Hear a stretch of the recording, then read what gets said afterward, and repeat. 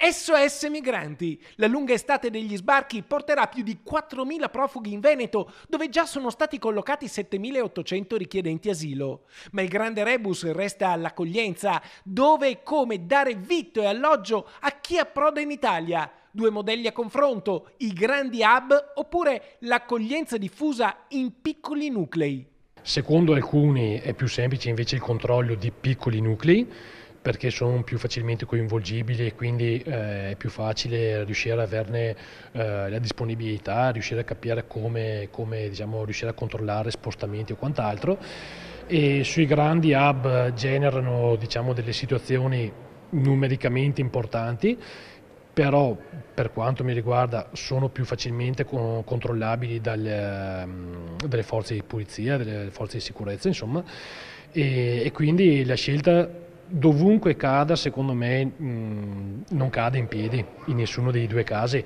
Pensieri e parole di Davide Dorantani, il sindaco di Castelgomberto che per mancanza di spazi ha rimandato in prefettura i migranti che gli erano stati assegnati.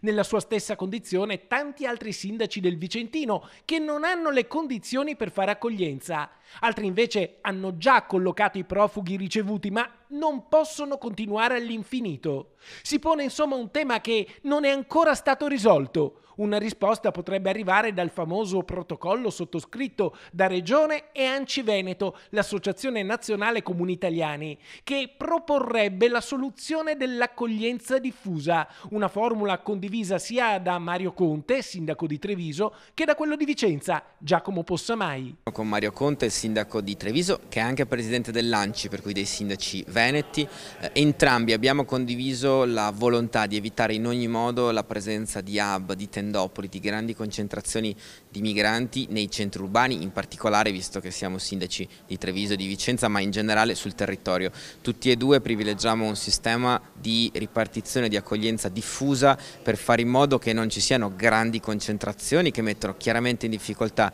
sia sul fronte dell'organizzazione e sia su quello dell'integrazione. Il nuovo protocollo non è ancora stato rivelato. A quanto pare proporrebbe una cabina di regia tra Regione e Anciveneto per coinvolgere più possibile i sindaci e per dargli voce nella gestione dell'accoglienza.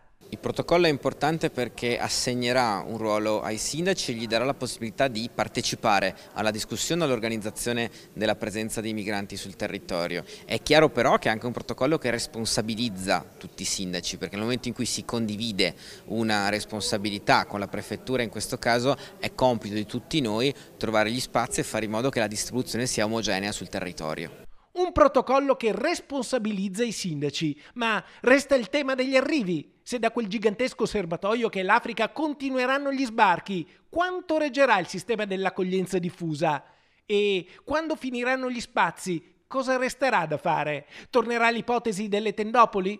E poi, ancora dopo? Terminiamo così, con una domanda, perché questo fronte, quello dell'accoglienza, non ha ancora dato risposte definitive.